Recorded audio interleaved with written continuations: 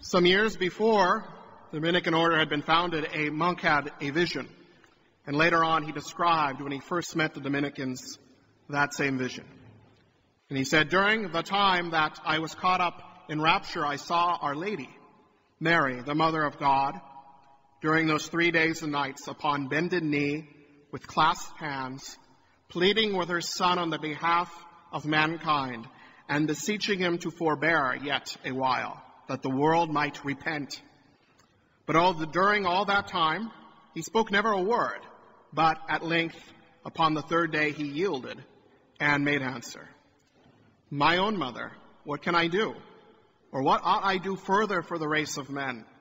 I sent them patriarchs for their salvation, and for a brief space of time they gave ear to them. I sent prophets, and for a while they did penance. After that I myself went unto them, and I gave them apostles, but they crucified me, and them they killed. I have since sent them martyrs, confessors, doctors, and many more. Yet despite their toil, the world is not amended. Nevertheless, at your prayer I will send unto them preachers and men of truth, through whom the world shall be enlightened and reclaimed. If it proves good, then it is well, but if not, there remains no further remedy. But I myself will come in judgment and be avenged upon them. 800 years later, this vision of this monk, lost to history, is fulfilled in the church. It's fulfilled in your midst. That that order continues. That this is just one of many stories. It's very similar in the same way, the same vein, of visions of, of monks and nuns and lay mystics that saw, foresaw the coming of the Dominican order. Because the work of that order is necessary. The work to preach the truth and to it, dedicate themselves to that one thing, the teaching mission of Jesus Christ, to save the world, to save souls from being lost to damnation, to being lost in sin. We always trust in the mercy of God, but the teachings of Jesus convey to us always that urgency to spread the gospel. Today we have this story in, this, in the Dominican rite of this bread. Who will feed them? Who will feed them? And it signifies two things. One, of course, is the Eucharist itself. Who will feed them, if not the priests of the church? But also, who will feed them the Word? That Word, that first bread, and the Word of God that prepares us, opens our hearts, our minds, our souls to receive the very body and blood of Christ. That we need conversion if we are to receive Him worthily. We need freedom so that we might truly be free like God, like the Lord hopes us to be. Who will feed them? The laborers, or the harvest is great, but the laborers are few. Eternal life is assured only through Jesus Christ. And this primary of the work, this primary work of the church continues to the teaching and the proclamation of the truth of our faith. And to this mission alone, the Dominican order is dedicated. There are so many other good charisms to follow Christ in poverty, to serve the poor, to heal the sick, to teach children. But the Dominican order is dedicated to the very mission of the church itself. A couple of years ago, Father Francis Lee had given an account, as many pastors do, of the church, of the parish. Our prior provincial in Oakland asked all of the directors and pastors if we would give an account, a one-time account of our province, of which this church is an important part. And so, our province, the province of the most holy name of Jesus, is one of 82 Dominican provinces and vicariates in the world. And we're in many more countries, including difficult places to minister right now, like Pakistan, Iraq, China. This particular province of the Holy Name of Jesus was founded 165 years ago by Spanish friars. And our priests have always been dedicated to the missionary work of these 10 western states, and Hawaii and Alaska are in our province. And we've done amazing things in that history of uh, more than 16 decades. We provided the first Archbishop of San Francisco. We celebrated the first Mass ever in Sacramento. We evangelized much of Northern California, though that might need to happen again. In the 19th century, we rode on horseback among the native peoples still present in Southern California. We rode horseback and visited and celebrated Mass in Utah, Arizona, Idaho, establishing missions there. We built a mission in the jungles of Chiapas, Mexico. We built hospitals, as I mentioned in another homily about a year ago, built hospitals and schools in a leper colony in the Philippines. And we established a school dedicated to the teachings of St. Thomas in Berkeley, California, of all places. And that still is going today. That's still very active, educating our priests other priests, other sisters and religious and lay people as well who want to serve the church. Besides that, today we have 10 parishes and 8 collegiate campus ministries. And the province says we touch the lives of 40,000 families. And I can't imagine it's that small, given the nature of our parishes and, and the people who come through all the time and sometimes. We also have two province-wide shrines, one the, the St. Jude Shrine in San Francisco, where many devotees come every day. And also this one. A lot of people don't know this is the shrine of the Holy Rosary. Right here, this shrine, of the statue indicates that we are the shrine for the confraternity of the Holy Rosary, which has tens of thousands of members at least, dedicated to praying together with and for the friars, with and for each other in the confraternity.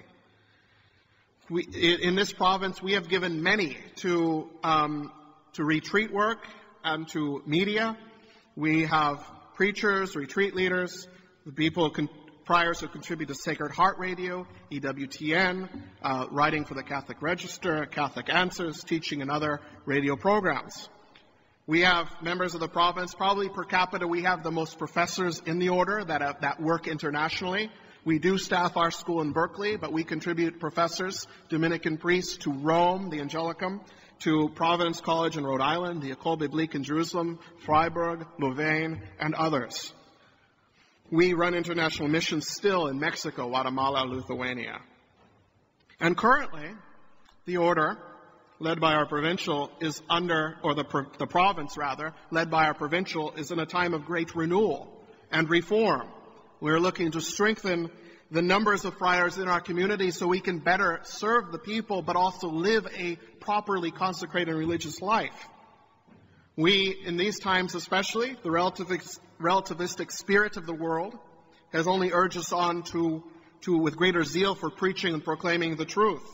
That urgency of the gospel is now. The loss of Catholic roots in the church prompt us then to renewal and reverent Orthodox liturgy in its various forms, and really incorporating the spirit of Pope Benedict to learn from new and old and go forward with that which is good from both. Well, part of that is our celebration of Dominican Rite, which recently we've been celebrating in five different churches, um, including now our House of Studies, our seminary in Oakland. Now, the work of the order is the work of the church, and as such, the Dominican, Dominican work in spirituality is by nature communal. And that not only is that active and true within the, the priories, within the province, but it's something that we've always been engaged with the world. We're kind of the first, one of the first to establish monasteries in urban areas. We still regard ourselves as contemplative, monastic in a sense, but here we are active, alive, and present in the world. And so there's a collaboration as Pope Benedict grew from the gospel and spoke about how the church should operate, that we are co-workers in truth, and that we see that in the order, that there are so many associated with the order, including those we serve. It's not a service one way, but it's a service together for that proclamation of the gospel, the sanctification of the world. We all participate in the mission of the order. We all participate in the mission of the Catholic Church to preach and to proclaim the truth of Jesus Christ. Now, clearly in a spiritual way, but also a practical way, we friars cannot accomplish our spiritual works of mercy without your help. The Dominicans are a mendicant order. which means we beg for what we need. This is how we beg today, right here. It used to be that the friars would go door to door begging for bread and what they needed. The Holy See, in the first decade of our order, intervened and said, please, dedicate yourself to study and to preaching. Let the people provide in a different way for this great ministry. Focus on these things. And so we do. Unlike monasteries that make fruitcake or Westminster cheese, you know, and you don't want Father Buckley and I making fruitcake or, or fudge. And I'm not sure it would sell. What do you want us doing? Dedicated to study, to prayer, and to preaching the Word of God.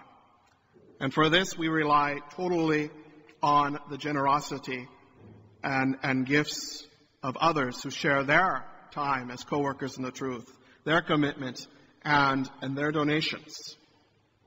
We rely totally on this and God's providence, which in fact is the motto of our province. That God provides. This generosity of what you give of yourself, whether it's donation or prayer, or whatever it is, strengthens the order, this parish, strengthens the church. And you, as we see, we're very much in our hearts, and we pray for this. We have masses for our benefactors, and each, eat at least once a week for the people of our ministries. And you are part of that. You are part of our province. And your, our work, our success, our fidelity, the spiritual benefits of the order are yours. All that we have is yours. As a religious order, when we take the other collections for retired religious or for seminarians, it doesn't benefit us. We take this because we serve the local archdiocese as well. But that money does not support Father Duffner, Father Buckley, does not support our seminarians. So we, that's why we take up once a year in, in, in October. This is a special collection for this, once a year in October, for these needs, especially for our students, to support the students in their studies of Thomas Aquinas and the doctrine of the Catholic Church. So in that spirit, I come before you and I ask you humbly, humbly, most humbly, that you continue this work, that you continue to do what you're doing, and to help us in prayer and in generosity to continue to minister here in Portland, around the Western United States, and around the world. Because our, not just the order, but like I said, our friars in this province minister around the world. And these are, this mission, this work with us is accomplished in three ways. One, pray. Pray. Unite yourself with us in prayer. That, this is a Dominican tradition above all. Pius V asked the whole church to pray the rosary for peace in the 16th century, and it worked. So pray. Pray for more laborers for the harvest. Pray that we hear and are converted by the word of God. We are free according to His grace, the gift of His grace. Prayer is the greatest support in preaching the gospel. And this is what our cloister nuns are dedicated to. We have teaching nuns and ones that work at nurses too, sisters. But the cloister nuns are dedicated for the preaching of the friars and for the hearts of all believers that they might open to that word. Prayer, again, the greatest support. Two, if you are an intelligent, single, young Catholic man, consider joining us. Father Stephen's about to go to Oakland and be vocation director to do this job. It's a great life of serving the church as an apostolic missionary. It's a, it's a life of joy and uh, that gives great benefits of, of happiness and satisfaction in serving God in this way. And number three, by offering a gift for the province in the Mission West campaign. Now, each of our ministries was asked to donate a certain amount of money. We're assessed, if you will, a certain amount of money. And seven of our parishes already reached that goal. And we were assessed to about $248,000. And before I came here, you know, I asked others. I asked some of, some of our parishioners and, and they already donated 70% of that. $175,000 before I even came and asked you today. So that only leaves 30%. That leaves 73,000 left. The people of Holy Rosary are known by the province, in fact, to be very generous in this regard. And we thank you for that. We thank you, thank you especially, especially if you're here present now. I only see about halfway back, so excuse me. But any of you who are present here that have given already. And for all of you who have given so much over the years in donating various things, including monetary gifts, but also time and work and prayer. So thank you. And, and you're, you're united with us in that. So, like I said, it's a little complicated Latin Mass, but we'll take a first collection for the parish. And in your pews, you will find the campaign envelope, and we'll take the second collection right away. I don't think there's another good way to do that. And so that's my thought. And so I invite you to fill out an envelope, or you may take it home and bring it back next week. We'll, we'll just, it'll just be this two weeks that will remind us that, about this. If you choose to mail a gift directly to the province, do put Holy Rosary Parish on it, Portland. And Holy Rosary Portland, make sure to put that so that we get that credit and they know that together that it's, it's we who have given this, and it'll be counted towards our parish contribution. Okay, so what's the what's this collection support? It supports and will train the formation of Orthodox and faithful Dominicans to be future priests, of which we have about 20 or so, 25, I think, in formation right now. We will give the world great preachers to defend and spread the truth of the faith it will fund the education of gifted Catholic scholars and preachers, teachers educated in Thomas Aquinas to provide future professors for the church, to educate future Dominicans and other seminarians. It'll help complete the financial, the financing of our Dominican School of Philosophy and Theology, again dedicated to teaching of Thomas Aquinas in Berkeley, California. It'll help care for our elderly and infirm friars, who are retired but still serve the church so faithfully. We have three examples here Father Buckley, Father Pascal, Father Duffner, who still works at the Rosary Center almost every day. He's 100 years old next month, and his 75th anniversary to the ordination of the priesthood is in December. And above all, it will help us to continue our critical mission to preach and teach for the salvation of souls. So, on behalf of all of us, from Father Duffner to the youngest novices, we thank you. You know, there is an urgency. And it's not the urgency of one that is a wrathful God, but one is merciful. God has always, in the in scriptures, especially in the Gospels and in teachings of St. Paul, spoken about this urgency. That there's an urgency that there are those who do not know Christ, there are those who do not know freedom. The freedom of the gift of God's grace and it's more urgent now than it was when Christ was preaching in Galilee and in Judea. It's more urgent than it was when we were founded in 1216. More urgent than in 1850 when this province was established. Join us. Be one with us in this urgent need to proclaim the truth of Jesus Christ. In the name of the Father, and of the Son, and of the Holy Spirit.